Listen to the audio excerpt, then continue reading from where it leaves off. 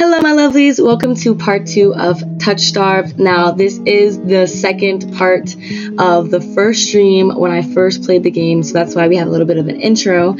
I wanted to quickly come here and explain how this video is set up. This is for anybody who didn't get the chance to see it. But Leander, we um, meet him, or we're about to go meet him at the end of part one, aka the first half of the stream. So I ended the first part, which is already on my YouTube which you guys have probably already seen. If you haven't, please go catch up. Um, we ended that first part after talking to Kuras, who tells us to go find Leander at this bar. And I ended there just as we're going into the alleyway, and then we're supposed to go find Leander. So that's where we are right now in the second part. Just going to be some clips, a lot of fun moments. Um, and then part three and part four, hopefully to come soon. But that's it for now. So please enjoy this video, um, and I'll catch you at the end.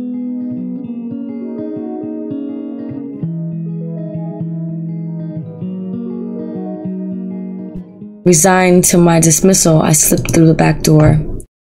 Oh, it's morning. Thank God it's not nighttime. I'd been scared. Followed the line of identical posters around the corner and nearly hit my head on the dangling wood sign. Looking up, faded orange letters read, The Wet Wick. Oh yeah, we lit in the bar. The inside of the bar is a far cry from the abandoned exterior. This is not even midday, yet most of the tables and booths are occupied by a loose assembly of people in matching green cloaks. I'm no stranger to bars. Sometimes I would take my books to the local. She's such a main character. Sometimes I would take my books to the local tavern for a change of scenery, but I much prefer quieter places. Okay. Girl. Well, oh my god, wait, she's an alchemist, so she does read a lot. I'm sorry. A curious glance doesn't turn up anyone with a dagger shaped earring. Show, show, show! The remaining green cloaks abandon the bar and their booths, rush towards the center of the room in a sudden torrent. There's no time to move out of the way. I'm caught, swept along the outstretched current. Hey! I thrash, throwing my out my elbows as the press of bodies grow heavier. My hip knocks into the table. I grip it, holding on tight to steady myself, but the crowd has still, chanting stopped. A pair of gilded boots right across the tabletop.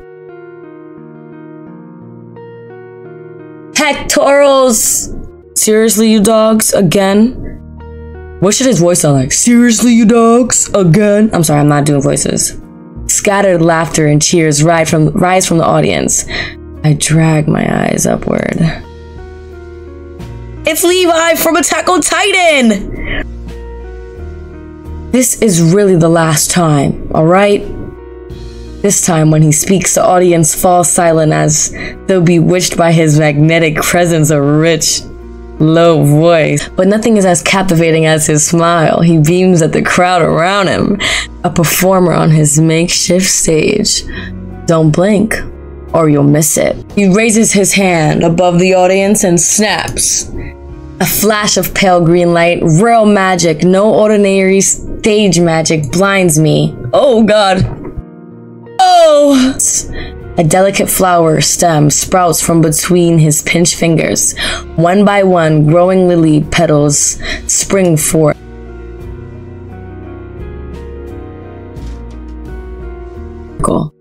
I've never seen something so beautiful and intricate, conjured, so efforts, conjured so effortlessly. Leander must be an incredibly gifted mage, no wonder Kuras recommended him. Leander plucks the iridescent bouquet out of the air and turns in a uh, turns in a slow circle, giving his audience a good luck. Now, who could use some good luck? Eager onlookers scoot closer to the table. Some reach for the lilies while others whistle and call Leander's name. But his cool green eyes slide right over them, locking on mine instead. How about you? Whoa! My chest tightens. Every person gathered turns to stare at me. Gotta take the flowers. Uh, I need some luck. I got some bad luck. I reach out, all too aware of the way my fingers tremble as I carefully take the flowers from him. There's no weight on them. No, only a faint warmth that radiates from the stems. As soon as the flowers leave Leander's hands, the light dims. To my surprise, Leander laughs under his breath. That's the problem with flowers. They don't last long, but they leave an impression, right? Yes, they do. He grins at me, and I find myself smiling back. Oh, he has bags under his eyes. He gets no sleep. I can rub your back. Leander steps off the table, dropping among the excited crowd with an audible click. All right, bloodhounds, get back to your drinks. Show's over. The green cloaks disperse at his command, returning to their tables and booth. Before I can make my way towards Leander, his eyes find me. He gives me a friendly wave, then beckons me over to the crowd crowded counter. I manage to squeeze behind beside him, but there's no, there's so little room that his broad shoulders press against mine. I tense, but he doesn't seem to mind at all. This is your first time to Eridia? He says it lightly, with a general air, a genuine air of curiosity. Do I stick out that much? No, but I'm certainly I'd remember seeing a face as lovely as yours around Lowtown.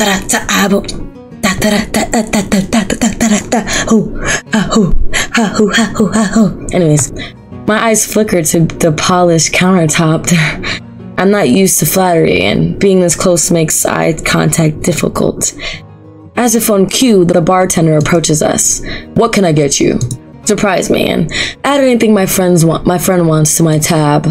I wasn't expecting the generosity, but I have to admit I do feel a little thirsty after that fried dough. I'll have what he's having. I need me a drink. I'll have what he's having. While the bartender leaves to fix our drink, Leander leans his elbows on the counter. I'm close enough to notice the purple shadow under the purple shadows under his lower lids. He's a tired man.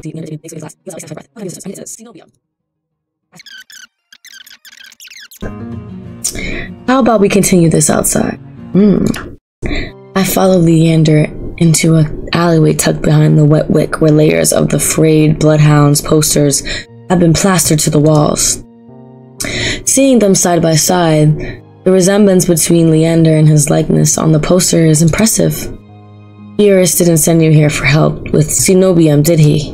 From the look he gives me, he already knows the answer. I glance away. No, he didn't. He suggested he suggested I find an alternative. But here you are, asking about them anyway. What do you need the cenobium for? I don't want to tell him about my curse. The less people know about my capabilities, the better. Thankfully, Leander takes my reluctant silence as the answer. Well, I see you are already aware of the city's currency. Information's worth is weight in gold here. Kuras told you the truth. Cenobium's dangerous.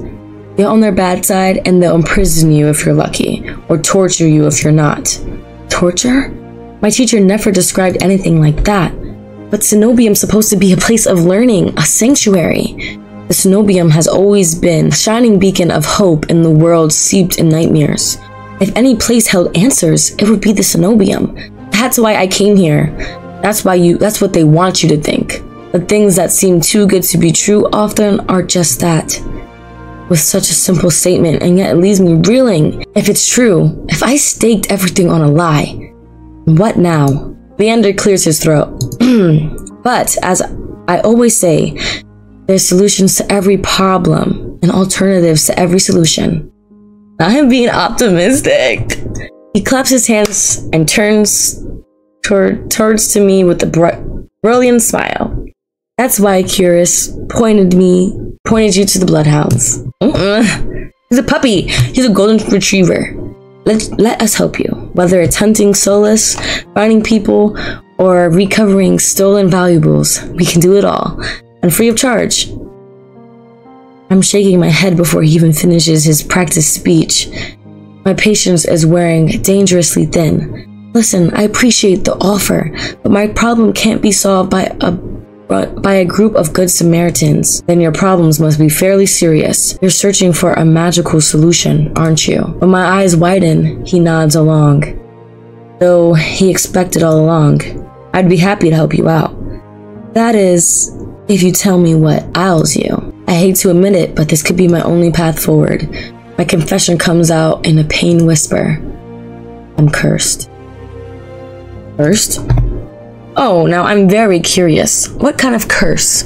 Something ancestral or more recent? He looks me up and down, taking in my face, my eyes, and finally my hands. It's your hands, isn't it?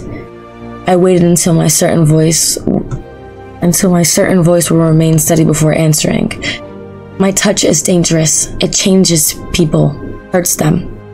Before I even finish, Leander begins taking his gloves off. He tugs his left hand free and flexes his finger. Let's see it. Oh! He offers me his hand, an enchantment for protection, but I'm already streaking backwards. Can't. I don't care how confident Leander is. I can't bring myself to hurt him, to see his face, his kind face twist into a mask of madness in which he loves him. Believe me, this isn't an ordinary curse. I'll be fine. Perhaps where you come from, curse is just strange and one of a kind. But spend a year in this city, you'll see a thousand curses and twice as many cures. Do you really think Kuras would send you here if I couldn't handle it? How do I know? I only met him today. I'm as good as any mage in Sonob Sonobin. Better, even. If they can help, so can I. Hmm. You don't know what you're asking me. I'm asking you to trust me. Mmm. I look from Leander's outstretched hand to his confident smile. Then, with a short breath, I begin. I begin unwinding the bandages from my hand. Fine, but if you lose control, don't say I didn't warn you. You can tie me up first so that makes you feel better. Ah, he's. Oh no, Leander. Ugh. Yeah. With each joint I expose, I grow more and more certain that this is a terrible idea. Ready when you are. If he's bothered by the way my hands look, he doesn't show it. My fingers hover shakily over his palm. Three, two, one. I'm gonna touch him. Damn. I, sh- I should touch him, right, guys? He's gonna be okay. He has to be. He's he's powerful. I tap his palm once, as quickly as possible. It's barely more than a brush, but that's all it ever takes. when I look at his face expecting to see the worst, Leander only grins. See? Can't be. This time when I reach out to touch Leander's palm again, he catches my wrist before I can pull away. I told you, there's really nothing to worry about. Oh! He's blushing. He's blushing. He trails off when my thumb brushes the soft skin off his inner wrist. Okay, let's talk real quick, y'all. I probably have to be with. I'm sorry if this is too loud.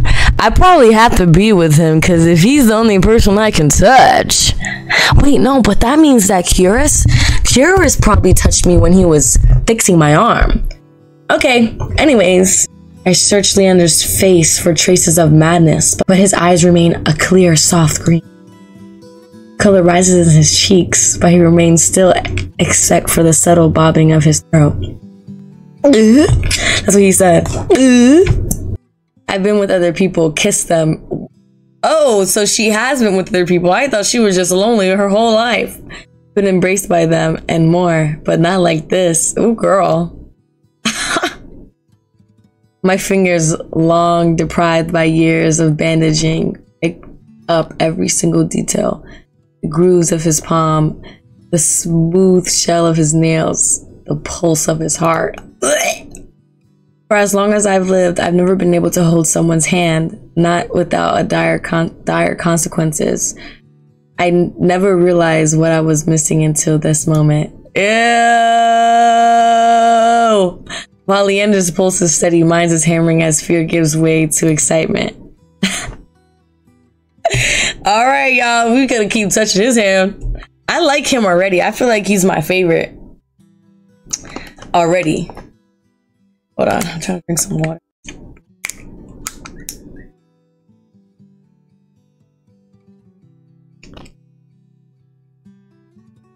Okay, I'm gonna keep touching him. No! It's messed up. Oh, she's touching them all over. She's really getting in there. My hand glides over Leander's wrist up to his forearm where smooth skin abruptly gives way to the rise scar by the edge of his sleeve. Ugh! Ugh! It matches the one that runs from his collar to cheekbone. Could it be the same wound? Imagine it's just like long. Ooh. Um, I glance at Leander's face and his lips part as he considers his words before speaking. Am I the first person you've been able to touch like this? Ah! Ah! My hand goes still on his arm. So far. this is so nasty. It's so early in the morning, guys. Let's calm down. I'll admit, your touch does make it somewhat difficult to stay level headed. Ooh, but not due to your power. He's. mm, mm, mm, mm, oh. Anyways, I'm sorry. He takes my hand. His I feel like I'm on on spicy book talk right now. You very much are. Look, we match. Ugh. He points at the gold pin on his collar on his coat collar, and I give him a small smile. Talking about we match. I draw my hand back and take a steady breath. My head feels as though it's stuffed with cotton. Habit alone guides me through the motions of rewrapping my hand, although my fingers tremble too much for the bandage to lie flat. Can't believe that worked. May I ask your name? I'm Madison. you were right to hide this from me, Madison. This curse of yours, it's unlike anything I've ever dealt with. Um, I can tell you're discreet. You'd best not go showing off showing that off to anyone else. I didn't plan on it. Are you staying in Lowtown? I was something I hadn't yet considered. I don't know. Let's get you properly settled then. Ooh, can I stay with you? The wet wick is noticeably quieter. Without their leader, most of the bloodhounds have dis dispersed, or in few cases fallen asleep beside their drinks. Got any rooms left, or did my lot grab them all, all to sleep it off? The bartender, who I now realize doubles as an innkeeper, slides a key onto the counter. You know I always keep the corner room open for your. it's not like that, bro. It's not like that, bro. Leander's laugh sounds slightly strained, and I always appreciate it, but you're mistaken. This is just for my friend Madison. Uh, sure, sure. Stay as long as you like. You two have fun. Um, Leander clears his throat, then holds the key out to me, but I hesitate. My coin purse barely holds enough for the day's worth of meals, let alone a room. How much do I owe you? Nothing. Bloodhound rates. My treat since you shared your secret. Food, drink, a warm bed, anything you need. Carefully, I take the key from him. It's small, but weighs heavy in my palm. I never expected to have a warm bed in Eridia, let alone free meals. Thank you. Go explore Madison. You'll find many roads in Eridia, each leading to different answers. What if you need to a repetitive? What the fuck? What from what haunts you? Come find me. I nod, taking one last look at the gleaming bronze key before tucking it into the pocket of my cloak for safekeeping. Leander gives me one last friendly wave before I depart. Alright, bye Bookie. I'll miss you. I'll think about you every day and every night. See you soon.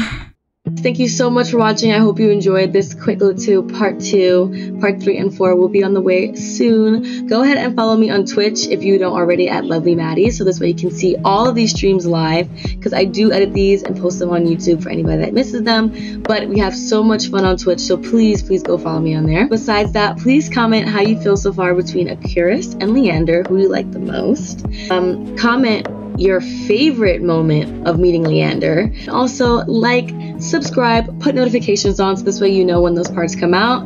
Any support is great support, and I love you all so, so very much. Until next time, bye. Mwah.